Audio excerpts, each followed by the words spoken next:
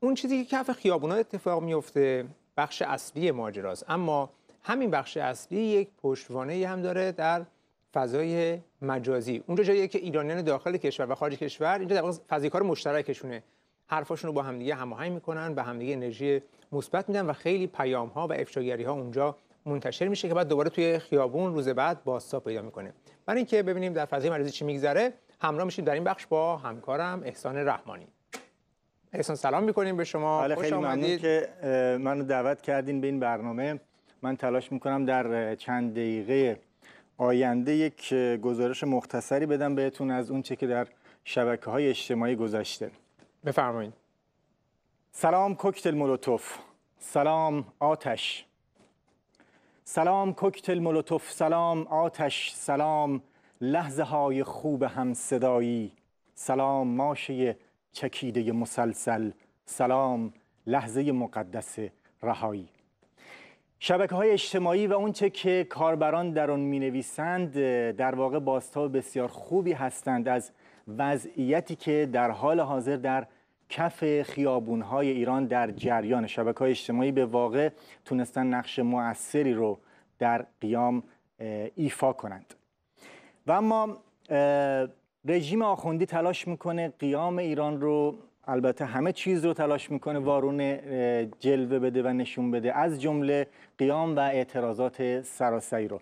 کاربران در شبکه های اجتماعی واکنش های جالبی به این مسئله داشتند. از جمله یکی از کاربران در یکی از شبکه های اجتماعی نوشته که همه چیز رو وارونه جلوه میدند دانشجو مساوی آشوبگر معترض مساوی اختشاشگر.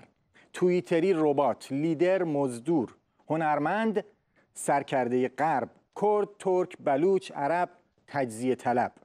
جوان تحت تاثیر هیجانات. نوجوان جوگیر. آخوند اون رو به عهده مخاطبین گذاشته.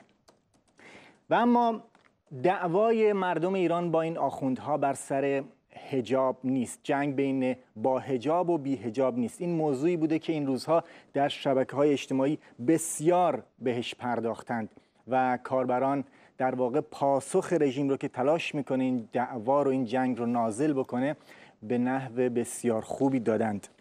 یکی از کاربران در همین رابطه نوشته اگر همین الان در یک فرض محال البته در یک فرض محال البته خامنه ای بگه هجاب آزاد.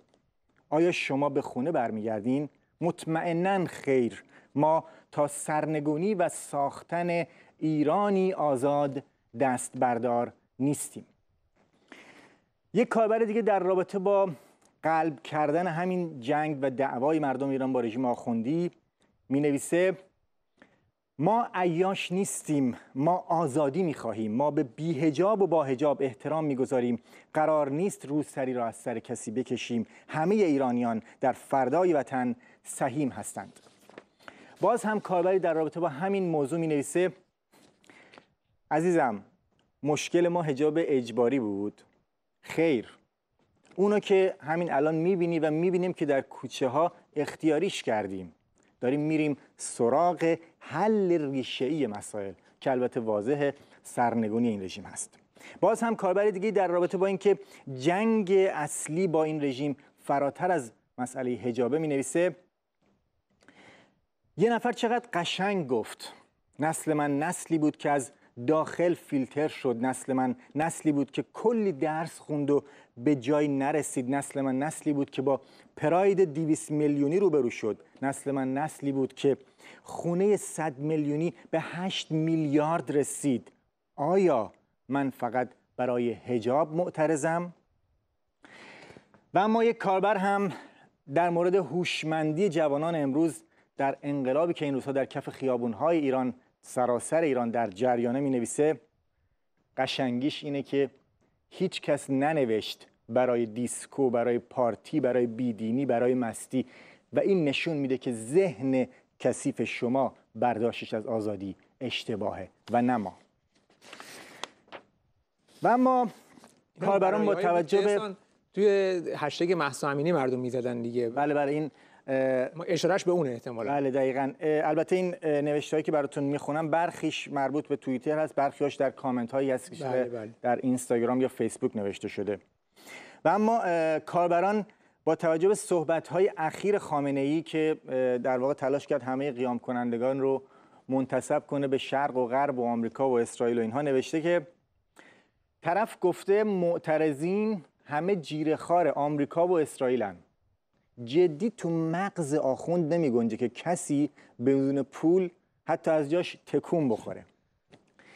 یکی دیگه از موضوعاتی که این روزها توجه کاربران رو به خودش جلب کرده موضوع آتش زدن سطل های زباله بوده که تلویزیون آخوندی بسیار مطرح شده تحت عنوان اینکه شما اموال عمومی رو در واقع هدر دادید. یک کاربر می نویسه که وزیر میاد میگه به بیت المال آسیب زدین. برای تولید سطل زباله 15 دقیقه نیازه. برای پرورش دانشجو دانشگاه شریف 20 سال زحمت یک خانواده و اساتید و بقیه. حالا مردم به سرمایه ملی آسیب می‌زنن یا شما؟ اون نخبه هایی که باشون این رفتار رو می‌کنید یه نفرشون هم دیگه تو این مملکت نمیمونه. کاربر دیگه با اشاره به فضای همدلی که این روزها در قیام در جریانه و اخبارش رو شنیدیم خانواده هایی که آب می‌گذارن دم در خانواده هایی که به مجروحین رسیدگی می‌کنن.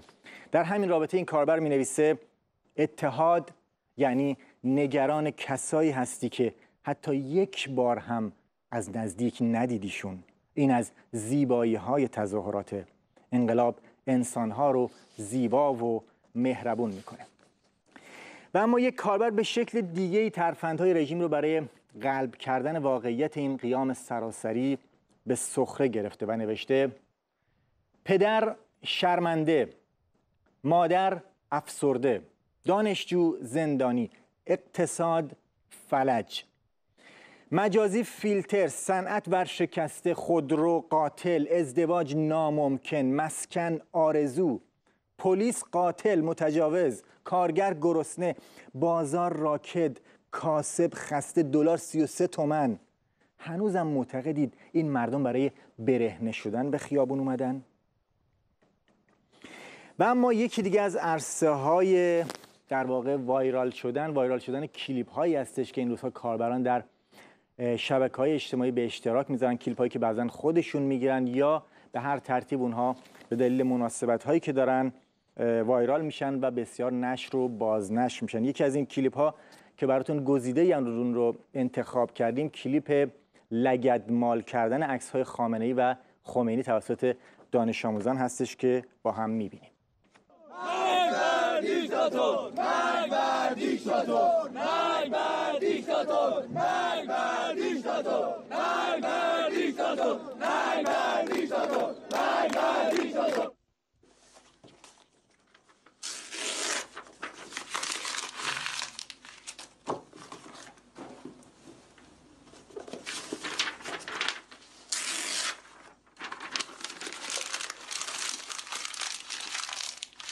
تهران تاریخ 1401 هفته دوازده.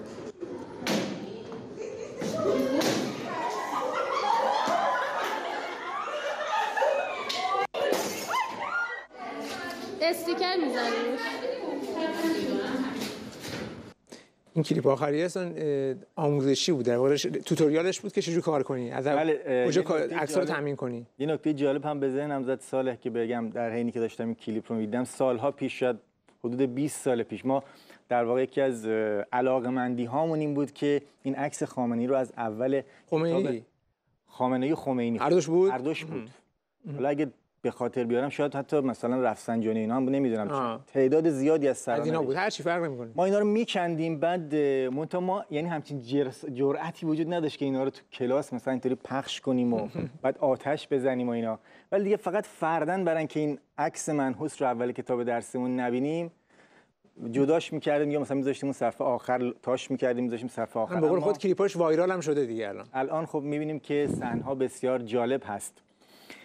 و اما اگه اجازه بدین بقیه کلیپ هایی رو که امروز در واقع می‌خوایم ببینیم یکی از تصاویر وایرال شده متعلق هست به یک پیرمرد هفتاد ساله که با زبان لوری در واقع داره اعتراض می‌کنه به این رژیم. این پیرمرد مشخص هستش که گولای ساچمه بهش اصابت کرده و به آخوندها میگه که بدبختا انقلاب شروع شده از این به بعد دیگه باید قرص خواب بخورید. ببینیم با همین کلیپ رو.